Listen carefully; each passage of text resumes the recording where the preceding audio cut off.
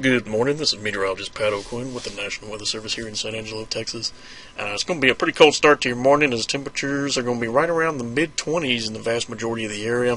Uh, definitely not going to warm up uh, too much this afternoon. We're looking at 7 a.m. temperatures are going to be uh, probably going to be in the upper 20s to low um, 30s as you head out the door at 7 a.m. But this afternoon is not going to be um, too terribly warm itself. Uh, we're looking at temperatures in the upper 40s to low 50s for this afternoon, although we will have some sunny skies.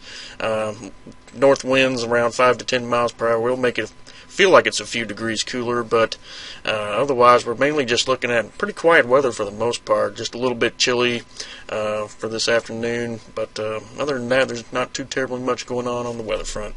So as always, please take care and enjoy the day.